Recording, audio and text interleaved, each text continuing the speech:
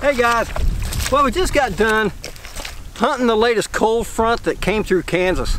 Uh, and we're done early so it gives me an opportunity to give you a look at the equipment I'm using.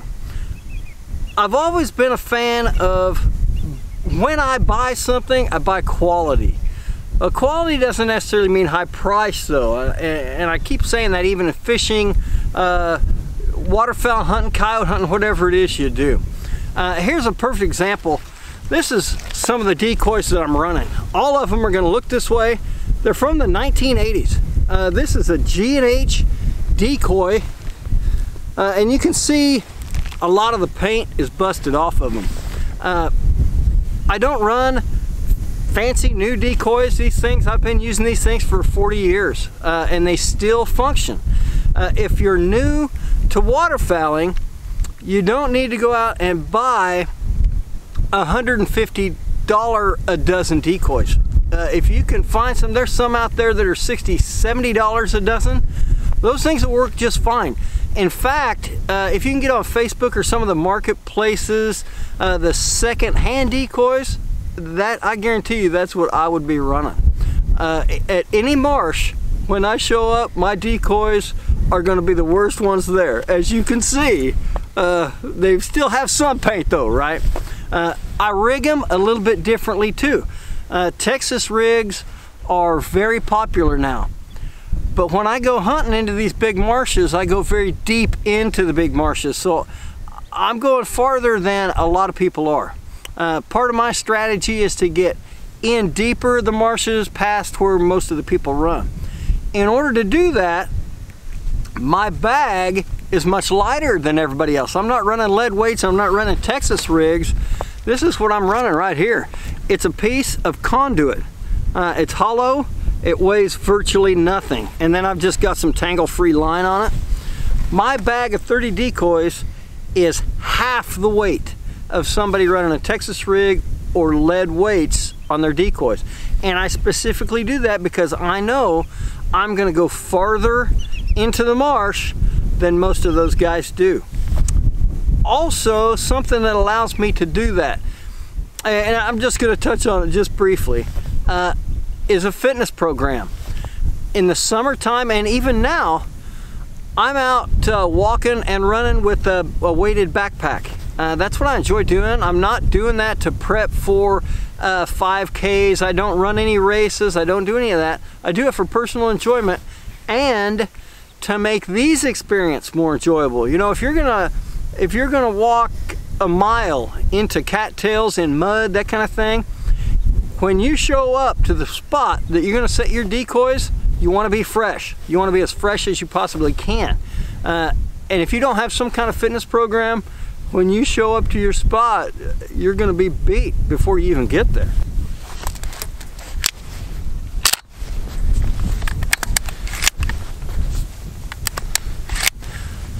I've also been shooting up all of the old shells uh, that I had gathered up, you know, over the years. I've settled on one thing now for ducks.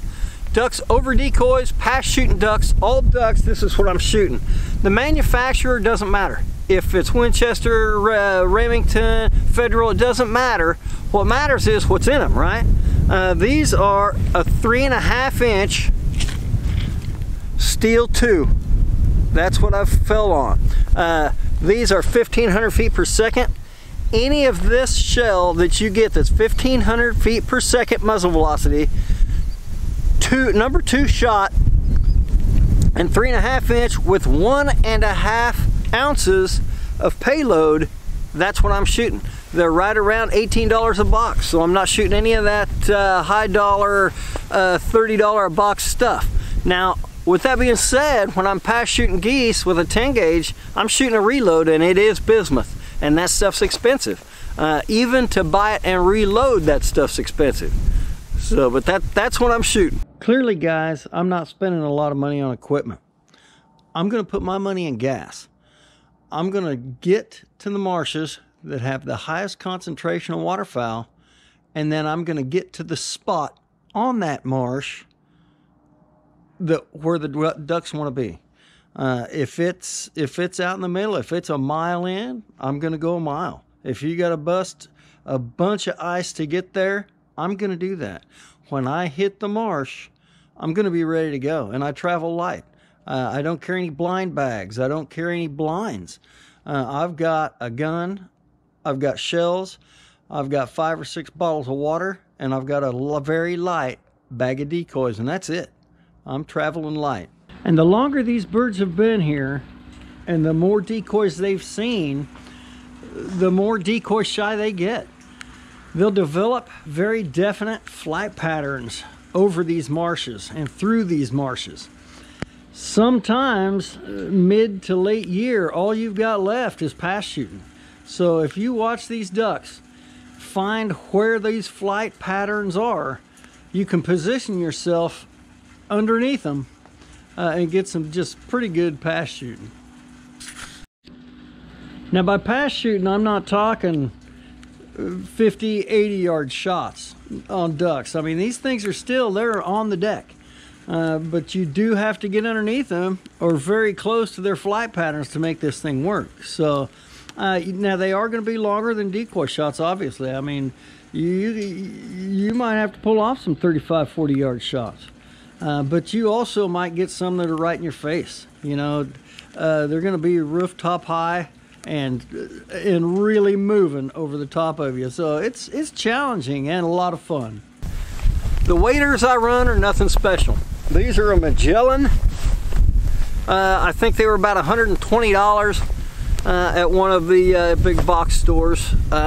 It seems like I have to get new waders every year or every two years, so I don't run expensive stuff. I'm not into that $300 waders. Uh, my coat, this is a Columbia Widgeon parka is what this is. Um, I got it on sale from Columbia themselves for about $150, something like that. It's extremely warm and these things are waterproof. I've got one that's uh, from 1980, so 40 years old, right? Still waterproof today. So that's the quality of Columbia stuff. Well, here we are, guys. This is the beginning of duck season right here. Every one of these cold fronts is going to be productive for us. Uh, if if we get the opportunity, we want to be on the front side of these cold fronts. We want to be on the back side of these cold fronts. You know, once these clouds roll through, on the back side of this thing can be just as productive as the front side, right? Uh, it'd be quite a bit warmer. If you enjoyed the video, smash that like button and don't forget to subscribe if you haven't already. More content coming real soon. See ya.